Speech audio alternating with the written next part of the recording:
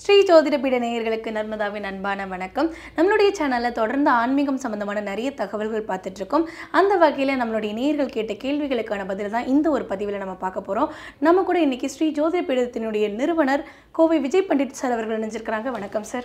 வணக்கம்மா. வணக்கம். வாழ்க வளமுடன். வாழ்க வளமுடன். வாழ்க வையகம். சார் இப்போ வந்து திருமண தடைக்கான பிரச்சனைகளுக்கான தீர்வு வந்து நம்ம கொடுத்துருக்கோம் சார். அதே மாதிரி வந்து நிறைய பேர் வந்து எங்களுக்கு திருமணம் ஆயிடுச்சு. ஆனதுக்கு பிறகு வந்து மனமுறிவு ஆகிற மாதிரி இருக்குல்ல மனமுறிவு ஆயிடுச்சு. அந்த வழியிலேருந்து தப்பிக்கிறதுக்கும் அந்த வழியிலேருந்து வெளியில் வர்றதுக்கும் என்ன தீர்வு என்ன மாதிரியான பரிகாரங்கள் நீங்கள் கொடுப்பீங்க அப்படின்னு கேட்டிருக்காங்க சார். அதுக்கான பரிகாரங்கள் சொல்லுங்களேன் சார். ஒரு பொண்ணு வந்து யூஎஸில் இருக்காங்க. ம். உங்கள் உங்களோட ஒரு ரெண்டு வயசு மூத்ததாக இருப்பாங்க அவ்வளோதான் இருப்பாங்க. குரல் பார்த்தீங்கன்னா ஒரு குழந்தை மாதிரி இருக்கும் குரல். இப்போ சமீபத்தில் ஏற்கனவே பார்த்தாங்க. நல்ல பொண்ணு பாவம். நான் ரொம்ப ரொம்ப ஒரு அற்புதமான பொண்ணு.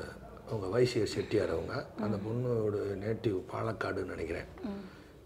தமிழ் வை வைசவ செட்டியார் தான். அவங்க வந்து யூஎஸில் இருக்காங்க. அவங்க வீட்டுக்காரருக்காக போராடிட்டு இருக்கு அந்த வீ- அவங்க வீட்டுக்காரருக்கு வந்து கொஞ்சம் மைண்டு டிஸ்டர்பன்ஸ் அதுக்கு ட்ரீட்மெண்ட் எடுத்துக்கிட்டு இருக்கும்போது இந்த பொண்ணு இந்த கொரோனா நேரத்தில் கொரோனாவா கொரோனாவுக்கு பின்னாடி இதுக்காக ஊருக்கு வந்துட்டு போயிருக்கிறாங்க. வீட்டுக்குள்ளேயே அந்த பொண்ணை சேர்க்கல. உன்னால தான் என் மகனுக்கு இப்படி ஆகிப்போச்சு அப்படின்னு இப்போ லண்டனில் உண்டு அந்த பையனை வச்சுக்கிட்டாங்க. இந்த பொண்ணு என் பொ அவர் தான் எனக்கு வேணுங்குது. என்ன சொல்லுதுன்னா ரொம்ப நல்லவர் சார். என்னை டைவர்ஸ் பண்ணாலும் பரவாயில்ல. அவர் நான் கூட வந்து பார்த்துக்கணும்னு ஆசைப்பட்றேன். இந்த கலிகாலத்தில் இப்படி ஒரு பொண்ணு இருக்குமா? யா, கேட்கும் பொழுதே உடம்பெல்லாம் சிலுக்குது சார். உண்மையிலே எனக்கு எனக்கு இன்னமும் அது அந்த அந்த பொண்ணோட வாய்ஸ் மட்டும் என் காதில் விழுந்துக்கிட்டே இருக்கு. ம். அந்த பொண்ணு ஜாதகத்தில் தாய் இப்படி இருக்கே சாமி. இதை டைவர்ஸ் பண்ணிட்டு வேற கல்யாணம் இல்லை சார் நான் செத்து வேணா போகிறேன்னு சொல்லுங்கள் சார். நான் செத்துடுறேன் இத்தனைக்கு லவ் மேரேஜ்லாம் கிடையாது. அரேஞ்சு மேரேஜ் இப்படியும் சில பாவிகள் இருக்கிறாங்க. பையன் கல்யாணம் பண்ணி பையனுக்கு மைண்டு சேஞ்ச் ஆச்சுன்னா யார் பொறுப்பு? முதல்ல பார்க்குறதுக்கு உரிமை கட்டிய மனைவிக்கு தான் உண்டு. ஏற்கனவே பேக்ரவுண்டு வசதி இருக்கு அவங்களுக்கு. அவங்க அப்பா அம்மாட்டெல்லாம் பணம் பொருளாதாரம் சொத்துக்கள்லாம் இருக்குது இந்த நீ வந்ததுனால தான் என் மகனுக்கு மெண்டல் ஆயிட்டான். நீ வந்ததுனால தான் மெண்டல் ஆயிட்டான். நீ வீட்டுக்குள்ளே நுழையாத. உன்னை கல்யாணம் முடிச்சனால தான் உனக்கு பாதிப்பு. அந்த பையனுக்கு ஏற்கனவே மன அழுத்த நோய் இருந்திருக்கு.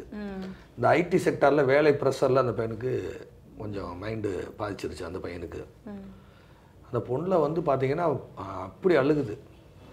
எப்படியாவது சேர்த்து வைங்க என்னைய என் வீட்டுக்காரை போய் பார்க்கணுமா ஐயா அப்படின்னு கெஞ்சுது.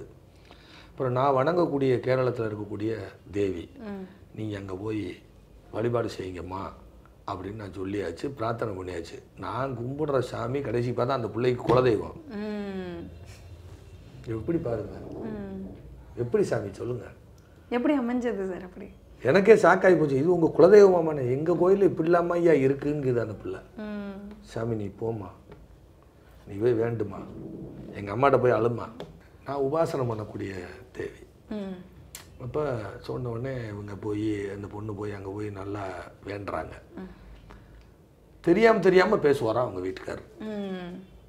அவன் அந்த பையனோட வீட்டுக்கு அந்த தெரியும். பொண்ணோட வீட்டுக்கு தெரியாது அந்த வீட்டுக்காரர். அப்போ இந்த பொண்ணு வந்து திருப்பி இந்த கோயிலுக்கு போகிறது வரைக்கும் அவர் காண்டாக்ட்லேயே கிடையாது. இந்த அம்மாவை வேண்டிட்டு போனதுக்கு பிறகு அவராக கூப்பிட்டு கூப்பிட்டு பேசுகிறாரு இப்போ.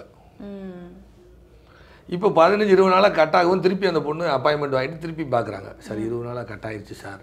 என்னம்மா காதல் பண்ண மாதிரி கட் ஆகி போச்சுக்கிறீங்க எனக்கு அவர் வேணுங்க ஐயா. நல்லவருங்க ஐயா எங்கள் வீட்டுக்காரருங்குது. எப்படி புள்ள பாருங்க. இன்னைக்கு கலியுகத்தில் என்ன ஒரு ஒரு ரெண்டு ஒன்றரை வருஷம் வாழ்ந்துருக்கு அந்த புள்ள இப்போ மூணு வருஷம் பிரிஞ்சிருக்காங்க. வேற வழியே இல்லைம்மா. உங்கள் ஜாதகம் இப்படி இருக்கு. இன்ன இடத்துக்கெல்லாம் போங்க. நேரா அலகாபாத் போங்க. திரு அலகாபாத்தில் போய் திரிவேணி சங்கமத்தில் குளிங்க. நாக வாசுகி நாக வாசுகி. அந்த அம்பாளை போய் பாருங்க. பார்த்துட்டு வேணி மாதவர் கோவில் கும்பிட்டுட்டு அங்கேருந்து விந்தியா சால் ம் விந்தியா சால். சால் சால்வேன்னு சொல்கிறோம்ல அந்த விந்தியா சால். பிந்து வாஷினி பிந்து வாஷினி அது பகலாமுகியுடைய அம்சம். நாக்க அறுக்கிற தேவி.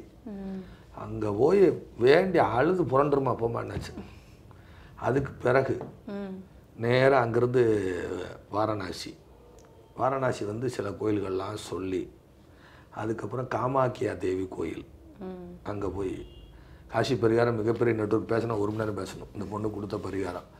அதுக்கப்புறம் அங்கே காமாக்கியா தேவியை போய் தரிசனம் பண்ணி பிரார்த்தனை செஞ்சுட்டு வாங்கம்மா எப்படியாவது அந்த காமாக்கியா தேவி உனக்கு வழிவகுப்பாள். அந்த பொண்ணுக்கு ஏழுங்கட்டு எட்டுங்கட்டு அவருக்கு ஏழுங்கட்டு எட்டுங்கட்டு கிடக்கு இதெல்லாம் ஏற்பாடு பண்ணி இப்போ சொல்லியிருக்கு. இந்த மாதம் வேண்டாமா தை மாதம் போங்க அப்படின்னு சொல்லியிருக்கு. கண்டிப்பாக நடக்கும். உங்களுக்காக நான் வேண்டுறேம்மா. எங்கள் அம்மாட்ட நான் வேண்டுறேன். அப்படின்னு சொல்லி கேரளாவில் நான் வணங்கக்கூடிய தேவி என் உயிர் மூச்சு. இன்றைக்கி நான் உயிரோடு இருக்கேன் அப்படின்னா எத்தனை விபத்து எவ்வளோ கஷ்டம் அவ்வளோ நெருக்கடி அனைத்தையும் நீ காத்து கொண்டு வந்தது எங்கள் அம்மா தான். ம். அவன் மேலே சத்தியமாக சொல்கிறேன் உனக்கு ஒரு வாழ்க்கை இருக்குமா? போம்மா. நான் எவ்வளோ சொல்லிட்டு இதை டைவர்ஸ் பண்ணிட்டு ஒரு கல்யாணம் பண்ணிக்கணும் இல்லைங்க ஐயா எனக்கு அவர் தாங்க ஐயா வேணும். ஏம்மா அவர் ஜாதகமே செயல்படாத ஜாதகம். நல்லா கேட்டுக்கிறணும் தாயி இது வந்து தப்பாக நினச்சிக்க வேண்டாம். தாம்பத்தியத்துக்கும் ஒரு தகுதி இல்லாத ஒரு ஜாதகம். எனக்கு அதெல்லாம் வேணாம் ஐயா அவர் என் கூட இருந்தால் போதும். எப்படி பிள்ளைங்க இருக்காங்க பாருங்க. ஒரு சின்ன வயசு பிள்ளை. இப்படிலாம் கிரகம் இருக்குங்கும்போது அப்போ எப்படி அதை நம்ம பார்க்க வேண்டியிருக்கு? சொல்லுங்க. வீட்டுக்காரர் தொடப்பு கட்டை கொண்டு அடிக்கிற பொம்பளைலாம் இருக்கு.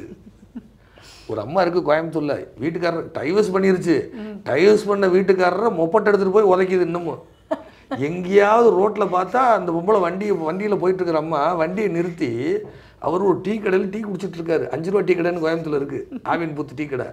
டீ கடையில் இப்படி டீயை வாங்கி இப்படி குடிச்சிட்டு இருக்காரு இந்த அம்மா அங்கிட்ட இருந்து போகுது. டைவர்ஸான ஆன மனைவி. இவர் ரெண்டாவது மேரேஜ் எல்லாம் இவர் வண்டியை நிறுத்தி இறங்கி வந்து ஒரே மிதி டிச்சுக்குள்ளே விழுந்துட்டார் இருந்தாலும் பல்லுலாம் போய் மூஞ்செல்லாம் உடஞ்சி போலீஸ்லேயே கம்ப்ளைண்ட் பண்ணுறையோ பொம்பளை அடி வாங்கிட்டு இங்கே வந்து கம்ப்ளைண்ட் பண்ணுற போயா திருப்பி அடியாக்குறாங்க எப்போ பார்த்தாலும் பொம்பளை அடிக்கிறா பொம்பளை அடிக்கிறீங்க வர்றேன்னு. அதை பார்க்கும்போது என்ன சொல்கிறேன் இப்போ கிரகம் பெருசுன்னு தானே தோணுது. கண்டிப்பா கண்டிப்பா கண்டிப்பா. இந்த மாதிரி இருக்கிறவங்களுக்கு நான் சொல்லிட்டேன் அந்தம்மா அது வேணாம் சாமின்ட்டேன். இல்லையா எனக்கு அவர் தான் வேணும். எனக்கு வேற கல்யாணம்லாம் முடிக்கிற இன்ட்ரெஸ்டே கிடையாதுமா அவருக்கு ஏற்கனவே சாதை வீக்காக இருக்குது தாய். பரவாயில்லையா எனக்கு அவரை ரொம்ப பிடிக்கும். அவர் குழந்தை மாதிரி எனக்குங்குது. இதுவே குழந்தையா இருக்கு அவரை குழந்தைக்குது எப்படி பாருங்க. ம். சரி சாமி நீங்கள் உங்களுக்கு வேண்டுங்கிறீங்க சரி போய்ங்க அப்படின்னு சொல்லி அவன் சொல்லி விட்டுருக்கு. இதே மாதிரி அதுக்கப்புறம் ஒரு ஜாதகம் வரிசையாக நாலு கல்யாணம் முடிச்சிட்டாரு நாலும் தங்கலை. நாலும் தங்கலை. இதே பரிகார காமாக்கிய தேவியை போய் பார்த்து அங்கே போய் அவருக்கு அஸ்ஸாம் கவுகாத்தியில் சொல்லி சொல்லி அங்கே போய் எல்லாம் பண்ணி அதுக்கப்புறம் இப்போ கல்யாணம் பண்ணி இப்போ அஞ்சாவதா கல்யாணம் பண்ணி குழந்தை இருக்கு. எப்படி பாருங்க. ம். ஸோ ஒவ்வொரு ஜாதகத்துக்கும் ஒவ்வொரு விதமான பரிகாரம். ஏழு எட்டு பாதிக்கப்பட்டால் காமாக்கியா தேவி. காமாக்கியா தேவி அனுக்கிரகம் இல்லாமல் யாருக்கும் வந்து மன வாழ்க்கை தாம்பத்தியம் குழந்தை பேரு இல்லை. கரெக்டாக அதை அவங்களுக்கு சொல்லியிருக்கேன். ஸோ இப்படிலாம் பரிகாரம் சொல்லியிருக்கேன். அது நம்ம சும்மா ஈஸியாக இருந்தது கோயில் சொன்னால் அது புரியாது. ரெண்டு கதையை சொன்னா தான் புரியும் ஆ, மக்களோட கனெக்ட் பண்ணிக்க முடியுது இல்லையா? கண்டிப்பா கண்டிப்பா சார் ஸோ நீங்க சொன்ன மாதிரி வந்து ஒவ்வொருத்தவங்களுடைய சுயஜாதகம் பொறுத்து அதுல என்ன பிரச்சனைகள் இருக்கோ அந்த பிரச்சனைகளை சரி செஞ்சு அவங்களுடைய வாழ்க்கையில ரொம்ப சிறப்பாக இருக்கணும் அப்படின்னு சொல்லியிருக்கீங்க. கண்டிப்பா இந்த ஒரு பதிவு மக்களுக்கு ரொம்ப பயனுள்ளதா இருக்கும் நம்புறோம். ரொம்ப நன்றி சார் நன்றிப்பா நன்றிப்பா நன்றி